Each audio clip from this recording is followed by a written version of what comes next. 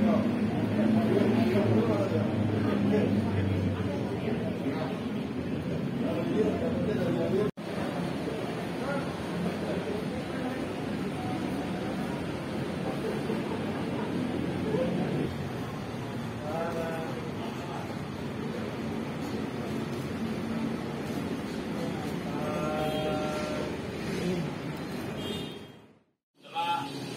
Berhasil mengungkap laporan palsu. Yang mana laporan tersebut yang bersangkutan laporannya di jambret ataupun dibegal di BKP. Pada saat itu yang bersangkutan melaporkan kepada SPKT Polres Jakarta Timur dan oleh Polres Jakarta Timur diterima.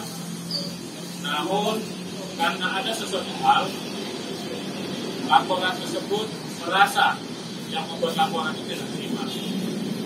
Sehingga dengan adanya kasus tersebut kita mengembangkan dan kita berhasil menangkap pelapor sekaligus yang melaporkan menjadi korban pembegalan di BKP tersebut.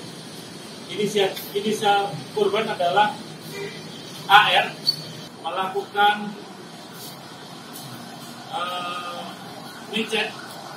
dengan seseorang PSK dan mereka berjanji di salah satu apartemen di Bekasi Nah, setelah selesai melaksanakan kegiatan tersebut, bersangkutan tidak sanggup membayar teman kencannya, motornya diambil, handphonenya diambil, sehingga yang bersangkutan untuk melaporkan kepada keluarganya atau orang lain bahwa dia dibegal, makanya dia membuat laporan palsu.